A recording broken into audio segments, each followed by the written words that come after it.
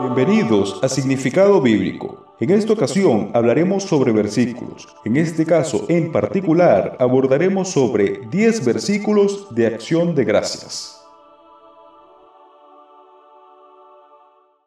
Antes de comenzar con la oración, te invitamos a descargar nuestra aplicación Fieles a Dios, cuyo enlace tienes en la descripción y en el comentario destacado de este video.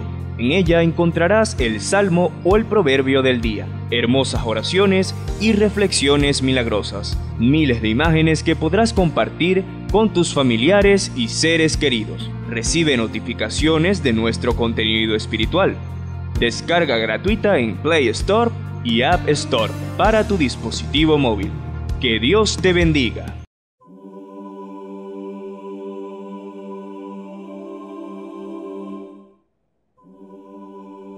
Teniendo en cuenta la importancia para Dios y para nosotros mismos ser agradecidos, debemos leer Salmos, acción de gracias en la Biblia. Por ello, el Salmo 138 nos dice que debemos alabar al Creador con toda la fuerza del corazón, de esta manera permitiéndonos realizar alabanzas. En este mismo salmo encontramos que el samaritano, que está haciendo esta respectiva alabanza de agradecimiento, indica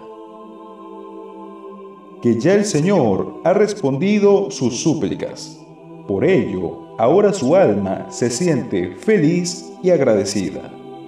En el Salmo 69.30, un gran mensaje donde se nos indica que también por medio de un cántico se puede alabar a Dios dándole las gracias infinitas y por consecuencia manteniendo clara la importancia de su presencia en la vida de sus hijos.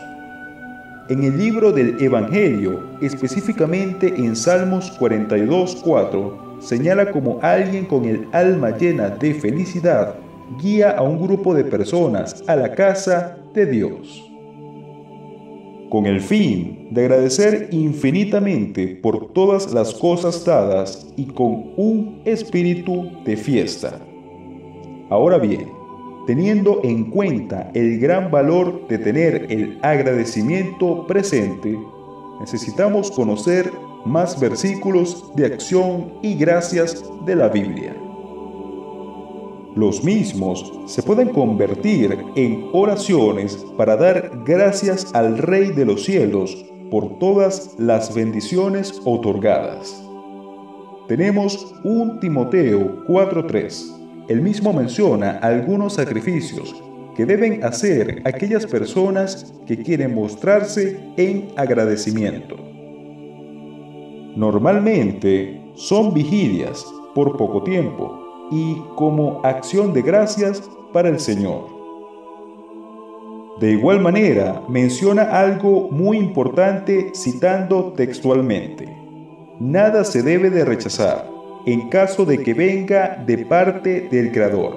Siempre debe aceptarse con acción de gracias.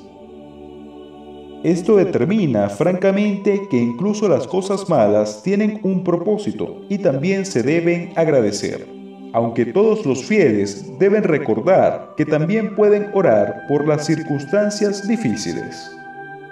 Existen algunos proverbios que nos enseñan la considerable y necesaria acción de regresar a dar las gracias al Señor. Probablemente en principio solo se ruega, pero también es fundamental dar las gracias y pedir perdón.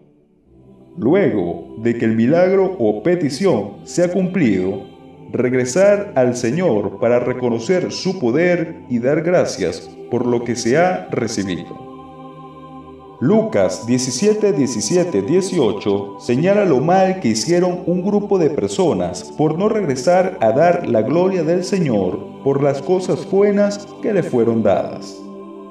De 10, únicamente regresó un extranjero por lo cual en el versículo bíblico se notaba la molestia del Señor. Romanos 14:6 es un hermoso mensaje que indica que todo aquel que hace todo en el nombre del Señor de la misma manera regresará a él, multiplicado. En todo momento entrega las gracias como creyente y bendícelo bajo el nombre del Creador. Si el video te sirvió de ayuda, me gustaría que lo dejes en la caja de comentarios. También puedes dejar tu me gusta, suscribirte y compartir este video para que llegue a más personas. Si buscas más contenido relacionado, lo encontrarás en nuestra página web significadobíblico.com.